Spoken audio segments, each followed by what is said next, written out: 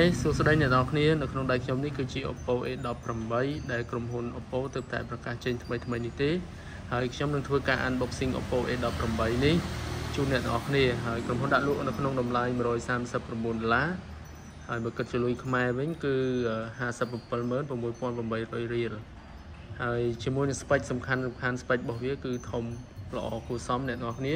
ជាមួយនឹងទំហំផ្ទុក របស់វារហូតដល់ 128G ហើយមានទំហំ RAM របស់វាគឺ 4G បូកនឹង 4G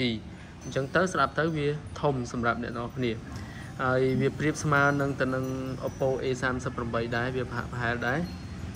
ហើយប្រអប់របស់វាក៏ស្រដៀងគ្នាទៀតហើយ spec របស់វាគឺដូចគ្នាទៀតគឺទំហំផ្ទុក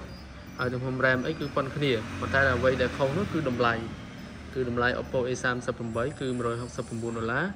ហើយនឹងតម្លៃរបស់ Oppo A18 គឺ139ដុល្លារ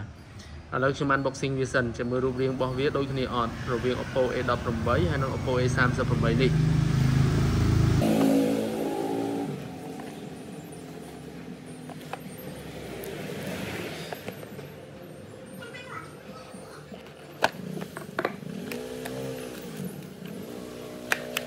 OK ចំពោះខាងសាករបស់វាគឺមាននៅក្នុងប្រអប់របស់វាស្រាប់ ឥឡូវយើងទៅមើលរូបរាងរបស់វាតែម្ដង OK អ្នកនរគ្នានេះគឺជា Oppo A 18ដែលវាមានរូបរាងរបស់វាគឺវាដូច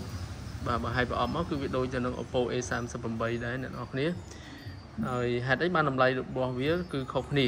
បាទបើរូបរាងខុសគ្នាទំហំ RAM ទំហំ ROM អីដូចគ្នាចុះហេតុអីបានតម្លៃខុសគ្នាអ្នកនរគ្នាបន្តិចទៀតខ្ញុំនឹងប្រាប់ពីចំណុចដែលវាខុសគ្នាហើយខុសគ្នា30ដុល្លារនេះរវាង Oppo A18 នេះហើយនិង Oppo A 38វាមានអឺ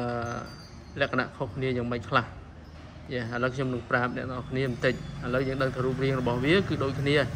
ទំហំ RAM ក៏ដូចគ្នាទំហំ ROM ក៏ដូចគ្នាប៉ុន្តែអ្វីដែលខុសគឺខុសគ្នាតែពីរចំណុចទេអ្នកនរគ្នាហើយគូសាករបស់វាក៏ Type C ដូចគ្នាដែរ speaker អីមកគ្របដូចគ្នាអាវគ្របការពារជំរាបទឹកនិងធូលីកម្រិតស្រាលមានដូចគ្នាទាំងអស់ ហើយអ្វីដែលខុសគ្នាអ្នកនរគ្នាគឺខុសគ្នាត្រង់ទី1គឺខុសគ្នាត្រង់ទំហំកាមេរ៉ានេះគឺ50 megapixel នៅលើ Oppo A38 ហើយចំពោះ Oppo A18 នេះកាមេរ៉ារបស់វា8 megapixel ប៉ុណ្ណឹងហើយម្យ៉ាងវិញទៀតវាខុសគ្នាកម្លាំងសាកថ្មអ្នកនរគ្នាអានេះកម្លាំងសាកថ្មរបស់វាគឺសាក Thai C មែនប៉ុន្តែកម្លាំងសាកថ្ម A18 គឺធម្មតា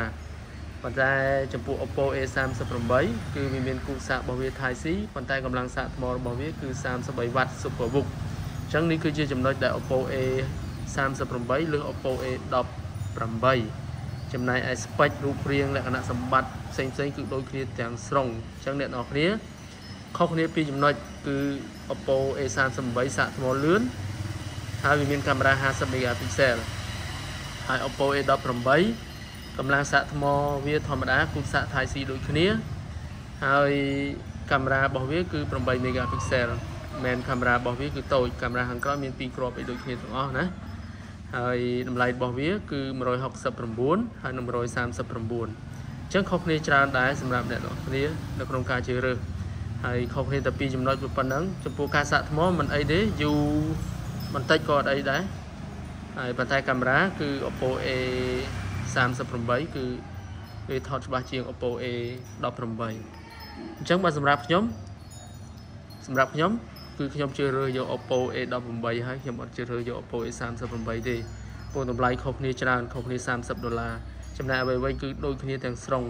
អ្នកនរគ្នាខុសគ្នាតែពីចំណុចដូចខ្ញុំបានប្រាប់មិញអញ្ចឹងអូខេនេះគឺជាវីដេអូចែករំលែករវាង smartphone Oppo A18 ហើយនិង Oppo A38 អរគុណច្រើន ជួបគ្នានៅវីដេអូក្រោយទៀត